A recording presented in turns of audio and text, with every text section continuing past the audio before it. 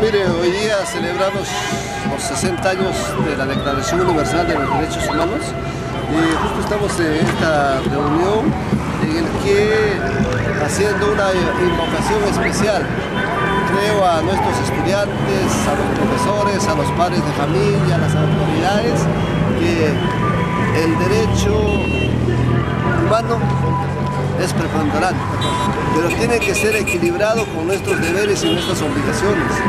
Hacer una invocación, así como exigimos se respeten nuestros derechos, también un acto de reflexión, de evaluación, cómo estamos cumpliendo nuestros deberes, nuestras obligaciones, como estudiantes, como hijos, como profesores, como ciudadanos, como padres de familia, como autoridades, que es importantísimo. Tiene que haber una equidad y un equilibrio en, este accionar de nuestras vidas. ¿Cómo viene trabajando la UGEL en este tema en las instituciones educativas de la provincia? Nosotros estamos trabajando en esa dirección con eventos, con charlas, con nuestros estudiantes, con los padres de familia, que el que saber respetar los derechos de nuestros estudiantes, de nuestros alumnos, de nuestros profesores, de los padres de familia, pero también exigiendo en los eventos, en los encuentros que hemos realizado, una equidad de responsabilidad, de deberes y obligaciones. El tema de la educación, eh, en, los problemas que se están viendo en, diferentes instituciones educativas, caso Raimondi, ¿qué se debe hacer en este tema?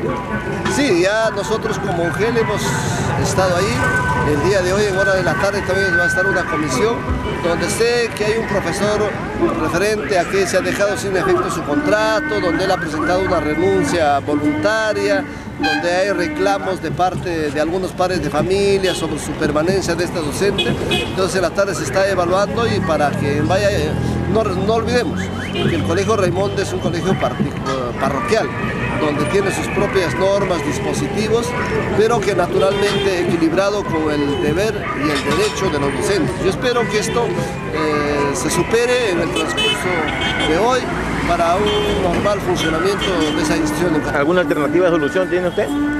Las alternativas es que creo evaluar de cómo está, qué hay de cierto, qué hay de verdad. Y frente a eso, tomar determinaciones de solución, pero concordado. Yo creo que para la solución de los problemas tenemos que deponer todos y darle solución.